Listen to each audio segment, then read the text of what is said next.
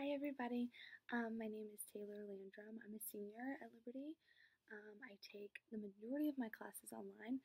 Um, I'm an interdisciplinary studies major, so I focus on communications, um, mostly social media management, anything to do with design um, for social media marketing, and um, psychology. So I really enjoy it. It's a lot of fun. I live in Virginia.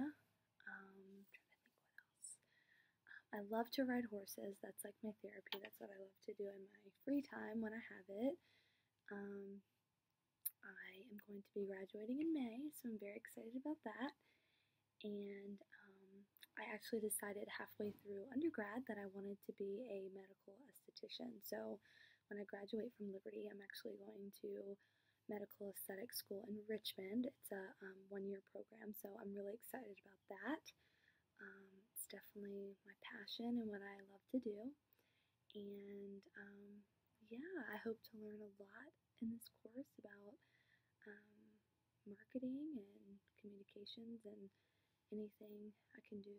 So yeah, can't wait for the course with you guys.